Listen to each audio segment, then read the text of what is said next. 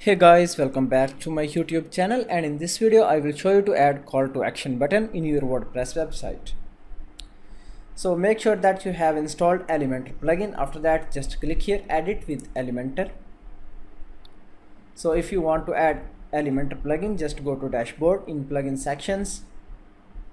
Just you can check here I have installed Elementor plugin and after that here you can see this is the website front end interface and you can add call to action button anywhere.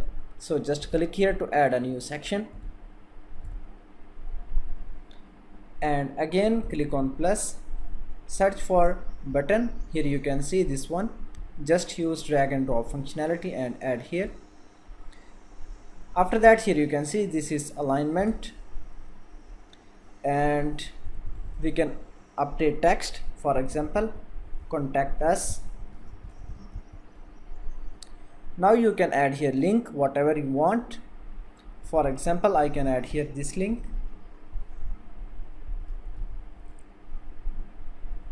So whenever someone click on this button then this website will open. And you can also link your website current pages. Just copy the link and add here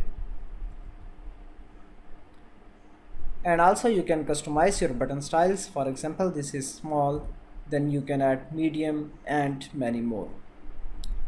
After that just go to style tab. Just you can change button color. So you can see the button color is changing effectively. And after that you can also change button uh, hover color so for example like this. When someone mouse over then you can see the color is changing. So in this way you can add call to action button in your WordPress website